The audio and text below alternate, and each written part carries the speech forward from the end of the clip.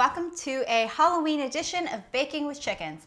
I'm Christina and today I'm going to make meringue ghosts. Funny thing about this ghost over here, I went down to the grocery store to get sugar for this episode and they were having a festival and there were people doing face painting so how could I resist? Today, making little meringue ghosts. So I'm making these Halloween cookies for some special trick-or-treaters who are going to stop by later today. Stick around. Um, they're going to come and they're going to go trick-or-treating and you'll get to see who they are. I think you might know who they are, but stay tuned.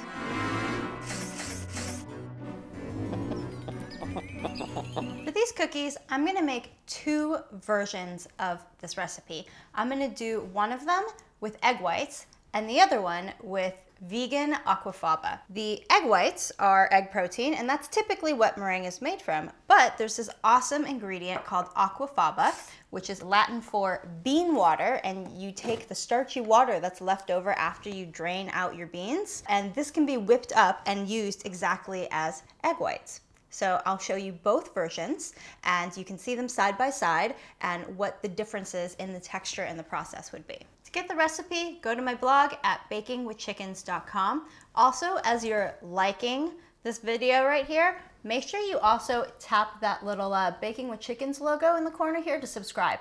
Tap to subscribe because that helps me get more people to watch this channel and you'll get notified of every new Baking with Chickens episode that comes on. For this egg white version of this recipe, I'm gonna use three egg whites that I've already separated from three eggs. Egg whites are really cool. Um, they are basically that white part when you crack the egg and it's kind of like viscous and weird and slimy, but it's made of 90% water and 10% protein. So I'm gonna pour in my egg white with cream of tartar, and salt. I'm gonna whip it up to get foamy before we add the sugar. When you whip egg whites, it gets like white and fluffy. It's kind of magical. It takes these proteins, which are different amino acids within the egg, and whips it up and gets air between all of the molecules. And then when you add sugar and your cream of tartar, that's going to act like a stabilizer, like kind of like a glue that holds all of those bubbles suspended together. And then when you bake it and you take all of that 90% of water out, what you're left with is the protein structure of your egg and your sugar bonded to it, and that turns into your meringue cookies. Don't wanna overbeat your egg whites. If you overbeat them and they start to look like chunky cottage cheese, um, that's overbeaten. You can fix this by adding another egg white to it, and then it'll kind of re-liquefy and then you whip it up again. But I'm gonna give mine a little bit more time. These are glossy stiff peaks. So I piped my meringue into my piping bag and then I'm gonna pipe some little ghosts.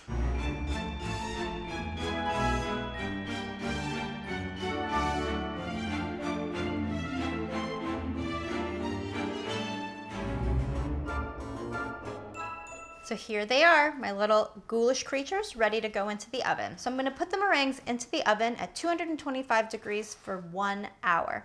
And then this is really important. So the key to meringue is slow cooling. So after that one hour, you're gonna turn off the oven and don't open it. Leave that door closed. So leave them in there for about two more hours, two to three more hours, um, while the temperature goes down to allow them to cool slowly so that prevents it from cracking. Does that make sense? Does anybody know I dream of Jeannie or should I snap? For my vegan meringue ghosts, I'm gonna use aquafaba instead of egg whites. So aquafaba is the starchy water from bean water. So garbanzo beans are a popular one. If you're making something with chocolate, you could do um, the bean water from black beans. We're gonna check this out. I'm gonna pour it in, make a second set of meringues using my aquafaba so that you can see the difference between the two. One cup all right, so you see this aquafaba. You can see it's got this yellowy color. Um, it's, you know, it's, it's a little viscousy, not as much as an egg white, but like it's kind of got like that sliminess to it. So aquafaba is a vegan alternative to egg whites. Why would I not use eggs in a recipe if this is a baking with chickens blog? Well, the answer is, you know, hey, sometimes I don't always want to eat eggs. Vegan recipes are really cool. It's a great alternative to try. If I didn't have eggs, this would be a great substitution. So typically in the spring, summer, the chickens are in full egg production and they lay about one egg a day. But if they're molting, if they're sick, if something goes wrong, or if it's in the winter, they slow down the production. So right now, Lady Olga Berry is molting, which is basically they lose their feathers and they regrow new ones. So their feathers come in prettier and nicer than ever, but in that in-between phase of losing and growing feathers, they look like crap. When they're molting, it requires a lot of protein from the chicken's bodies. And protein is what eggs are made of. So they need all of that protein in order to grow feathers. So that's why when chickens are molting, they don't lay any eggs. Hence, the vegan recipes that come in handy. Okay, I'm gonna add the aquafaba into the KitchenAid bowl along with my cream of tartar and salt. Ooh, something I totally forgot to mention. So when you're going to the grocery store to buy your can of garbanzo beans, make sure you get the ones that say no salt added. You want the unsalted ones if you want a clean meringue flavor. So I only had for this recipe a salted one. I'm gonna do a maple flavor for the vegan version. So I'm thinking maybe like that maple and salty will play nicely together.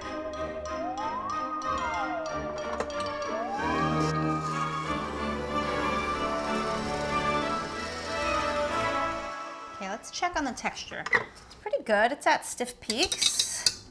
Might be able to do a little bit more. It's kind of flopping a little. But look, it looks almost exactly like egg whites, doesn't it? Isn't this crazy?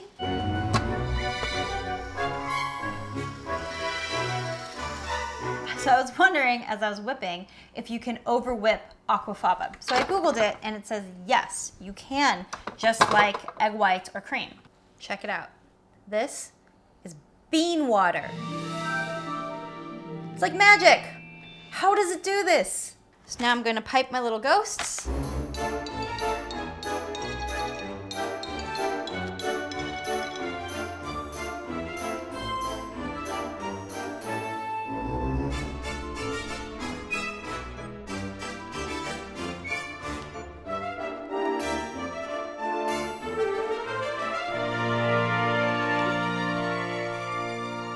My vegan meringue ghosts. I'm gonna put them into the oven at 200 degrees for about an hour and a half to two hours. A little less if you want them less chewy, longer if you want them a little crisper.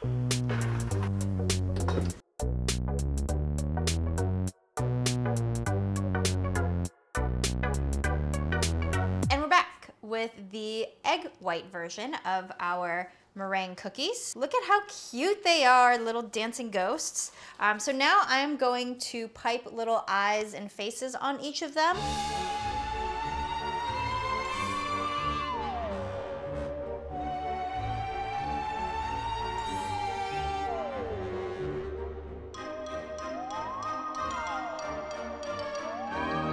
Taste our pleasures. Rated H from Hell. So here are my vegan ghost meringues.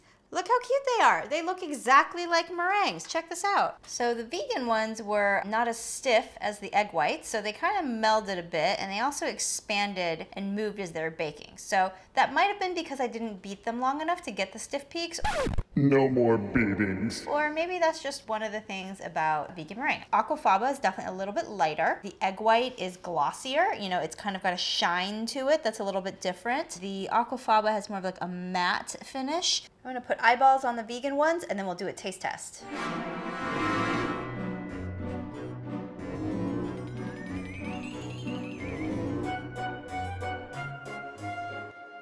Ta-da! Look at my little ghouly ghosties. They're so cute. So here are the egg white ones, and here are the vegan ones, so you can see the difference. But the ultimate is the taste test. So let's see how they did. Okay, I'm gonna try the egg white one first.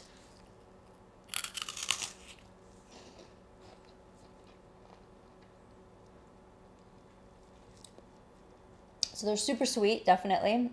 Um, and it's nice and crunchy all the way through. So it's a nice meringue cookie. And now let's taste the vegan one. Mmm. Definitely a really different texture. These are the maple flavored ones, so they taste a little bit different. The texture is really different. Like, it's kind of like eating a really crispy styrofoam. You can see the difference of the texture. So this is the vegan one, here's the egg white. This vegan one, you can see like it kind of, there's definitely much more aeration in there. This one's kind of, there's a little more chew to it, becomes a little bit more marshmallowy, but see the difference about the insides? So my kind of grimace at this was more the maple flavor. The texture and the taste um, actually are pretty good. Like it doesn't have a whole lot of beanie flavor. I like it. Vegan aquafaba totally worked. Vegan meringue for the win. No, please no. I don't even taste good.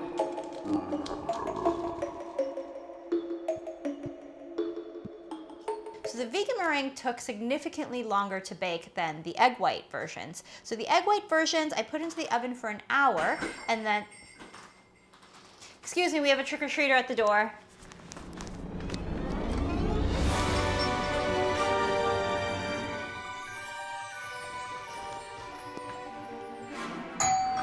Oh, there's another one.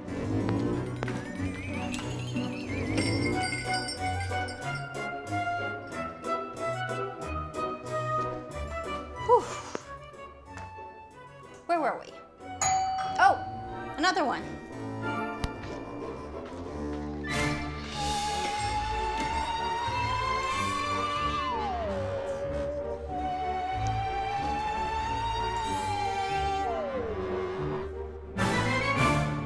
Thanks for watching this very special Halloween edition of Baking with Chickens and the Little Meringue Ghosts.